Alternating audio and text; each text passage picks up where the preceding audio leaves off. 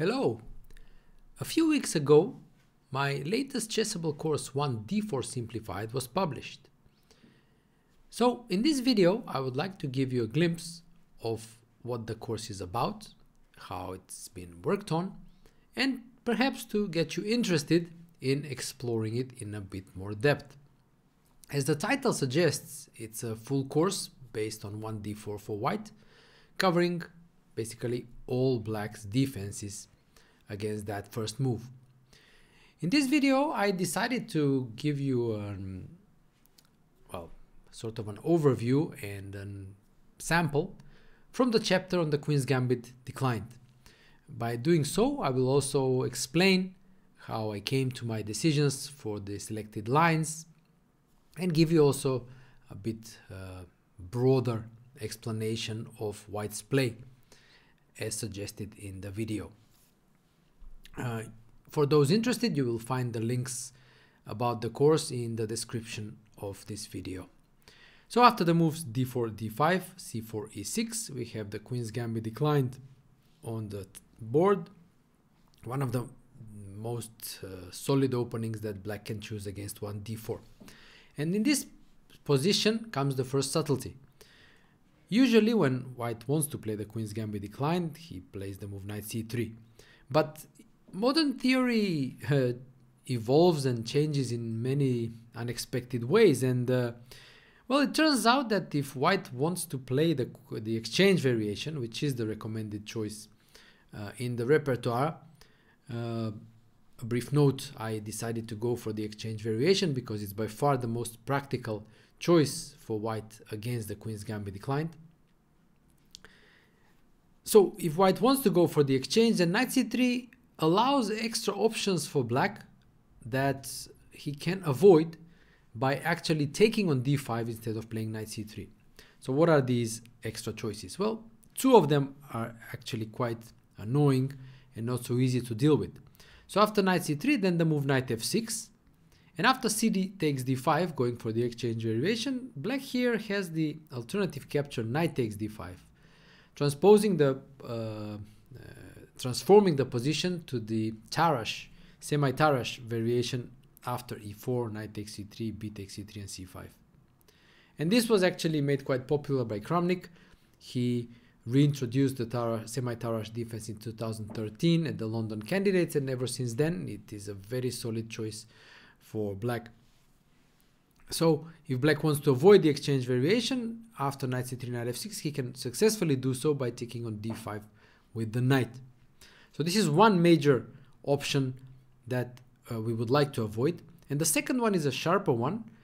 Um, in after knight c3, if black plays c5, the Tarrasch defense, but after c takes d5, now instead of e d5, which we can't really avoid, and this is also examined in the course. But the, the line we can avoid is the Schara-Hennig uh, gambit after c takes d4. Usually white gives a check on a4, giving check and attacking the pawn on d4. And after bishop d7, he takes the pawn or queen takes d4. But after e d5, uh, whichever way white takes on d5, uh, modern uh, engines have found that uh, black has quite good compensation for the pawn in view of his, uh, his very active piece play. His pieces are really coming out very quickly. Knight f6, knight c6. Yeah, bishops are coming, queen is coming, bishop is coming, whatever. Yeah, e7 before. It's a complex line to navigate for white because um, black definitely has the initiative and white, even though he's solid and a pawn up, still needs to defend for some time. So why allow these two choices if we can avoid them, right? And we do avoid them by actually taking on d5 one move earlier before going knight c3. Now, none of neither of these two choices are possible, so we successfully enter the exchange variation after e takes d5 and knight c3. So this is the starting point of the exchange variation. A lot of moves are considered in the course.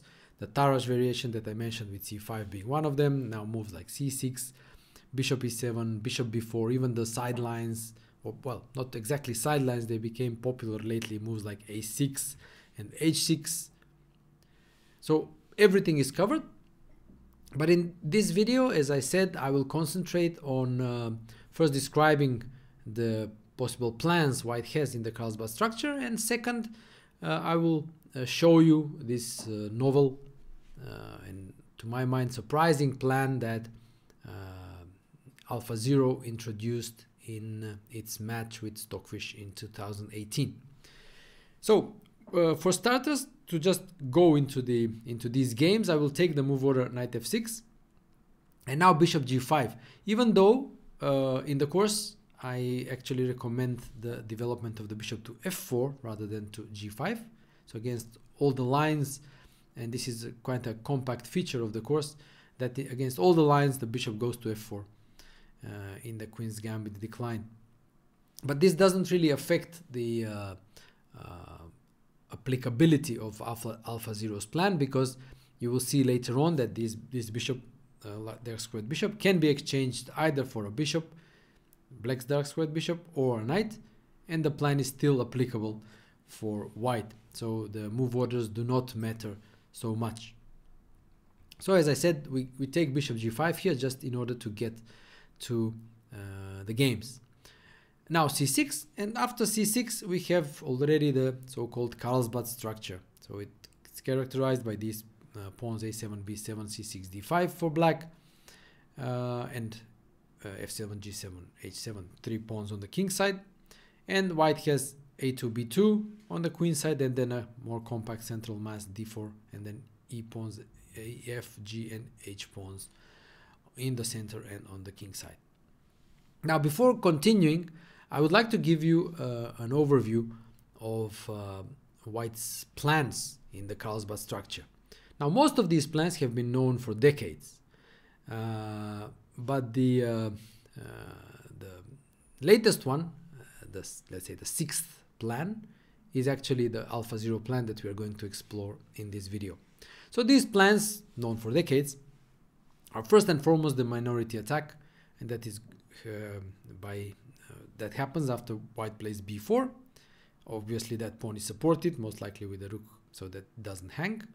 And after b5, white wants to push b5, take on c6, and then force black to take with a pawn, b takes c6, when that pawn on c6 would be weak backward pawn with a weak square in front of it. Or in case of capture with a piece, let's say with a knight or a bishop, then the pawn on d5 would be isolated. So this is the uh, minority attack when uh, in either of these cases, white will start play on the queen side, targeting those weaknesses either on c6, c5 or the pawn on d5. Then we have the second plan, which is the, I call it at least, the, and it's also I think known as the Botvinnik plan. And that consists of building a full pawn center after e3, most likely bishop d3, and then f3 and e4. So this is the, uh, the central uh, plan for white in the Carlsbad structure. It became known since uh, the classical game Botvinnik Keres from 1952. Uh, and uh, I recommend you take a look at that game because it's really a, a model game how White wants to execute this uh, central expansion with f3 and e4 and Botvinnik won in very convincing style. Ever since then that plan is uh, popular and one of the main ones for White in the Carlsbad. A sort of a alternative to Botvinnik's plan is, is that after f3, uh, white can play g4, not e4, but g4 to expand on the king side. Later maybe h4 and then start pushing the pawns on the king side. This is a, let's say, a small uh, variation of Botvinnik's plan, which in includes the move f3. Then we have a plan of pushing e4 in the center without the help of f3.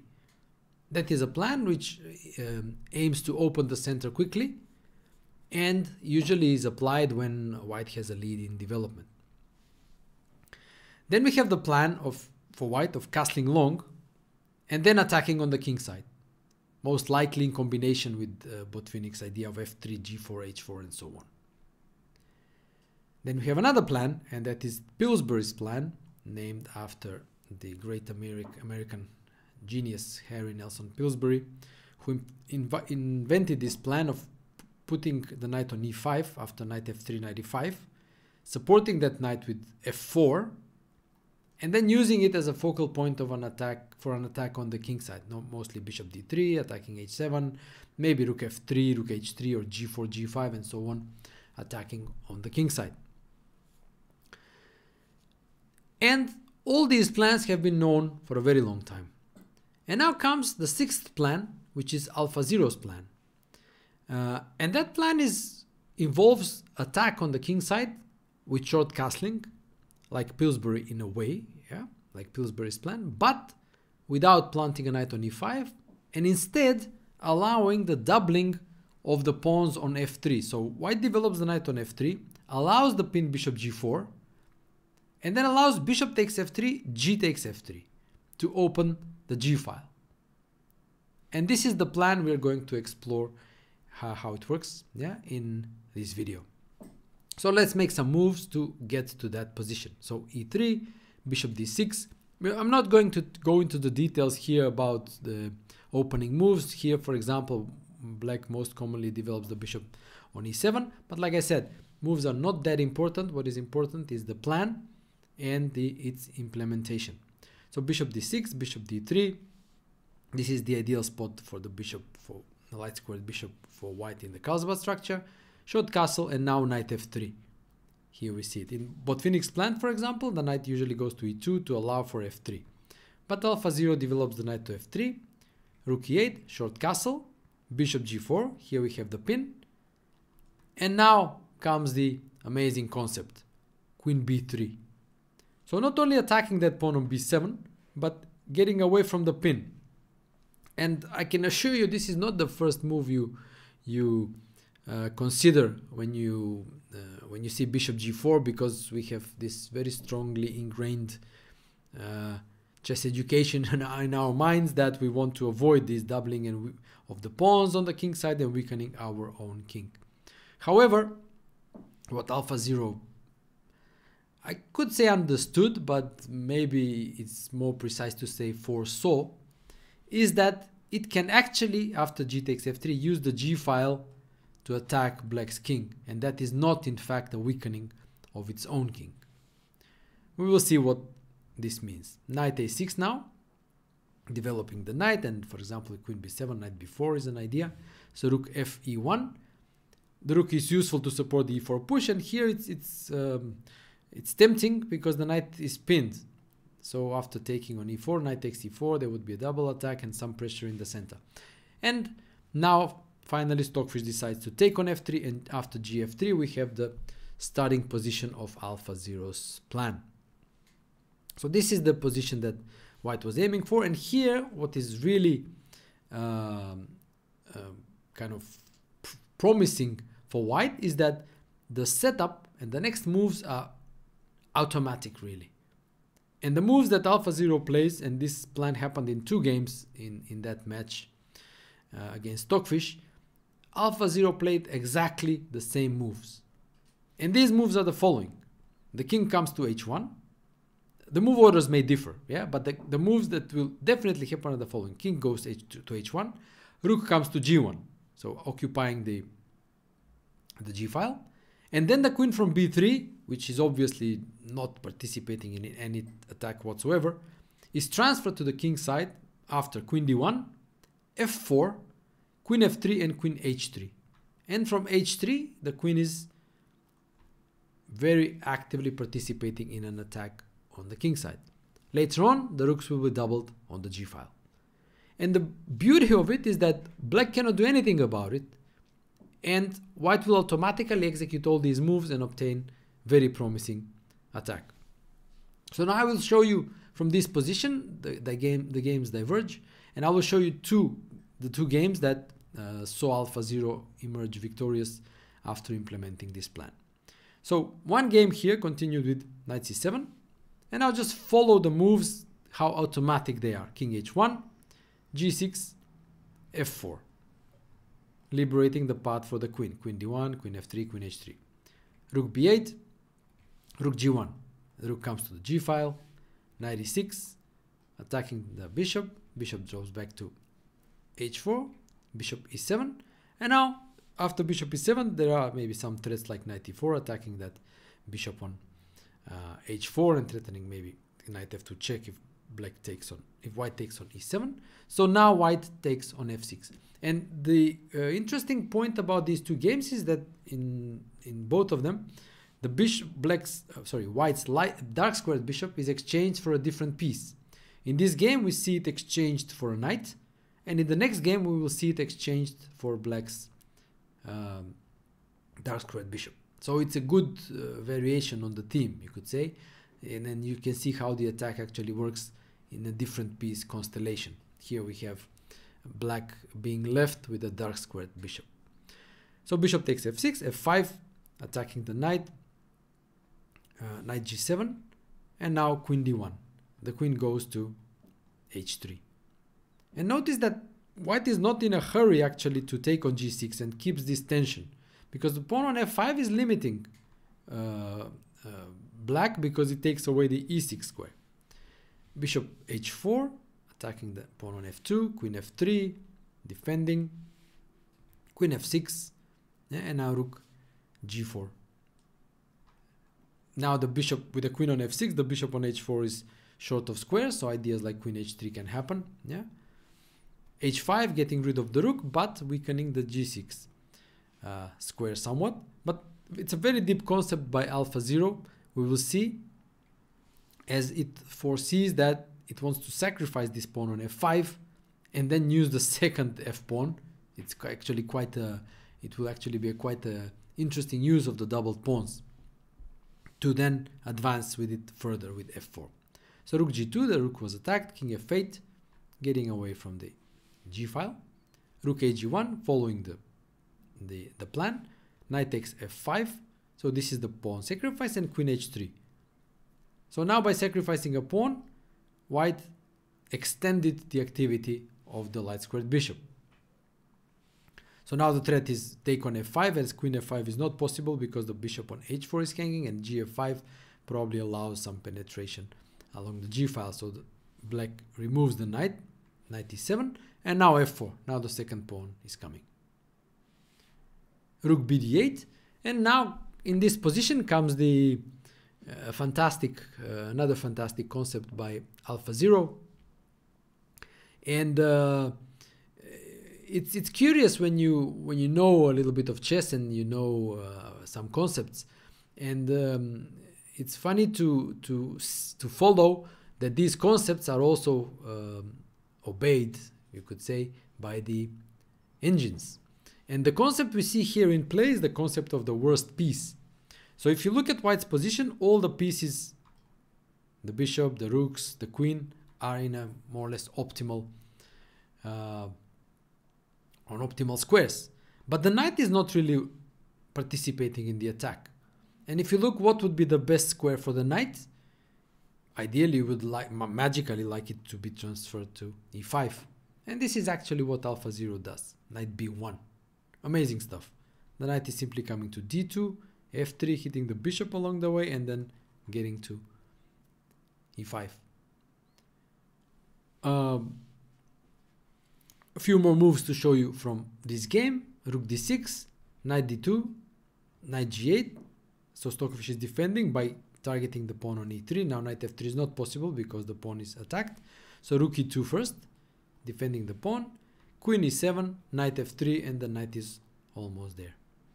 After bishop f6, f5, white's attack is crashing through. So we can stop the game here because it's uh, it shows the, the efficacy of the plan in its entirety. We see how powerful and also straightforward and simple White's play was in uh, uh, in the uh, by following yeah the the plan that was possible after the doubling of the pawns on f3. Now let's go back to the position after g takes f3 yeah and check the next game. So rook b8 was played in that game queen d1. Again, we know the drill. f4, queen f3, queen h3. Knight c7, f4, bishop e7, queen f3, knight d7. And now we see the difference. Now in this game, the dark squared bishops are exchanged. In the previous one, we had a bishop for a knight exchange. Here we have a bishop for a bishop. Bishop takes e7. Rook takes e7, queen h3, threatening mate on h7, knight f6, and king h1. So you see, all automatic is the same again. Rooks are coming to the g file. Queen d7, obviously uh, white will avoid exchange of queens because it's playing for an attack. Bishop f5 with a tempo. Queen d6, rook g1, king h8, bishop d3, rook g8, queen h4, slowly building up, knight c e8, rook g5, h6, and rook a g1. So again, we see here total domination for white on the king side. The plan is executed, yeah. All the moves from the plan have been um, played on the board. And we see how with these simple means, white uh, has obtained really a, uh, an overwhelming uh, position on the king side. It also has to be noted that black is extremely solid. So all the pieces black has are defending the, the king side. So it's not easy, far from it, to break through. And in fact, in order to break through, Alpha Zero in this game had to combine play on both sides of the board. We will see that a bit later on. Um, white will expand on the king on the queen side to grab some space there, and then combining that expansion with uh, play in the center. Ideally, like f3 e4 is the main idea for um, white in this position. It eventually managed to uh, break through black's defenses and win the game in the end game. So to show you a few more moves, yeah, rook c7. Black's problem is that there is no active counterplay, and it can only wait. So a3 covering b4 and preparing b4 later on. Queen e6, rook e5, queen d6 and knight e2. Yeah. So now we see another knight maneuver. In the previous game, we saw knight b1, knight d2, knight f3 with the idea of knight e5. Here we see knight e2 with the idea of knight g3 and knight f5. Knight h7, knight g3, queen f6 offering exchange of queens queen h3 and knight d6 it's a very nice defense by stockfish. Now the knight on d6 is covering the f5 square preventing knight f5 or at least exchanging uh, one pair of knights. And now f3 this is the now that knight f5 is not uh, or at least leads to a uh, exchange of knights white intends to further advance by pushing e4 but this needs to be uh, prepared carefully. It's very important to note the very strong outpost for the rook on e5, which makes the e3 pawn safe. Now with the rook on e5, that pawn cannot really be attacked. a6 now by black, a4. This is the expansion I was talking about. White wants to go a5, b4 to completely lock in and clamp down black's queen side. And then with that total domination on the queen side, it will turn the attention to the center. So after a4, queen d8, now rook h5. Now with the, without a queen on f6, there is no attack on the pawn on f4. So the rook is removed from e5, creating the threat of e4, e5, attacking the knight. Yeah. So the queen comes back to attack the pawn on f4 and stop e4. Now a5. So see how uh, white is combining play on both wings this is what you would expect uh, in games of old masters, you know, when they would be combining these threats on both wings and uh, playing on domination and so on. And it's really uh, interesting to see that uh, the best uh, engines in the world are actually uh, copying these this strategy of of humans that have been known for ages. The only difference is that the execution of these strategies is understandably much better uh, with the engines than with the humans. So rook e7 attacking the pawn on e3, rook e5 going back, rook c7 and now b3. Now another uh, talking of comparisons, why not b4? Well, no reason, but uh, uh b4 was possible. But b3 is just another typical move that you would expect a human would play. So everything is under control, let's take our time. Yeah, and some may even resemble some Petrosian's uh, games and moves. Yeah. And after rook cc8, bishop b1 again, maneuvering, rook cf8, b4 finally establishing the grip, queen d8. Now we know what we can do. Rook h5, there is no attack on f4. Rook h5, the threat is e4, e5. Queen comes back, and now another interesting regrouping, rook h4. So white defends the pawn on f4 from the side now and intends e4 now. Now another interesting uh, uh, prophylaxis by Stockfish, rook d8. And the idea that now e4 is not possible, yeah, because after taking, let's say on e4, f takes e4, there is queen d4, yeah, so it's not yet ready, but knight h5 is actually showing the uh, uh, overburdened queen. From f6 it was the ideal square targeting both pawns on d4 and f4 but now once the queen is um, has to move white is ready to push e4 queen e6 now and now we earlier we saw that white was avoiding the exchange of queens in order to play for an attack but here it's already very concrete. And the point is that after queen takes e6 uh, f takes e6 rook h g4 white is actually winning material. The problem is that g7 and e6 cannot be defended. So first of all g7 is attacked three times and after 98 yeah there is bishop takes h7 king h7 and rook g6 and the pawn on uh, e6 is either lost or in case of defending it for example with something like rook d6 just look at the complete domination that white has.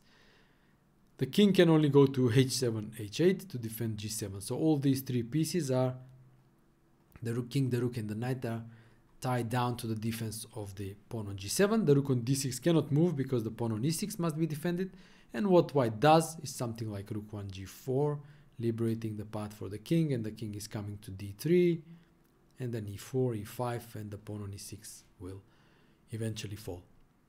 So amazing play on domination by Alpha Zero. In the game, Stockfish decided to go to give up the pawn with rook d7, but after rook e6, with a clear pawn up, Alpha Zero eventually won the game without too many problems, even though the conversion uh, took some time. So these were the, the two games that I wanted to show you, and um, I hope you found them as impressive as I did. Um, I have to give credit to Matthew Sadler uh, and um, his uh, books on Alpha Zero, Game Changer, most importantly, where it was uh, uh, the source where I discovered these games and these concepts by Alpha Zero. So give credit where credit is due. So this plan also consists, uh, it forms part of, uh, like I said, my 1D4 simplified course. As I said in the beginning, it's a, it's a full course, complete course on White's uh, 1D4 move. Uh, all the basic main openings for black are covered. And as I said okay this video was intended to give you an idea of the uh, type of work I have done for that course. So uh, thanks for watching this video. Uh, subscribe like it comment on it. Uh, check also the uh, video description where you can see the links for the course and also my substack social media and so on so thanks for watching and I'll see you in the next video pretty soon. Take care.